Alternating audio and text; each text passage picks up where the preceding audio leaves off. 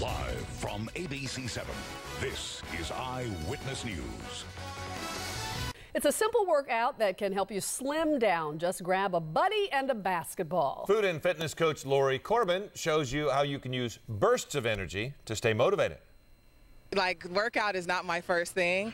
Um, I usually think of, okay, what am I going to eat? Yvette Toko doesn't really like to work out, but she found something that motivates her to move. Balls to the wall workout.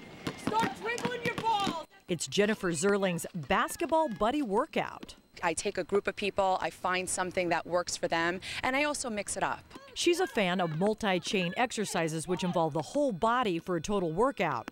Getting a partner helps most to stay with it. So get a buddy and a basketball, and you're in business. The main idea here no excuses. You want to do something that has little or no equipment and takes actually little time, and it also has to be fun. One partner throws the ball against the wall, the other performs an exercise, finishing in time to catch it. It's easy, you just need a wall uh, for this particular workout. And again, you're getting those main exercises that work every single muscle group. Dribbling and footwork for warm up, then it's push ups, burpees. The possibilities are endless. Play with kids, family, or friends. Just start simple.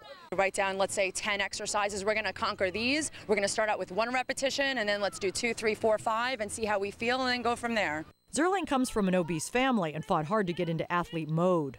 Author of Breaking the Chains of Obesity, she's convinced people can succeed by doing many bouts of exercise each day. There's a lot of evidence that if you split your workouts up into different segments, you could still get the same exact results as if you did it all in an hour. Lori Corbin, ABC 7 Eyewitness News. It's like a tough workout.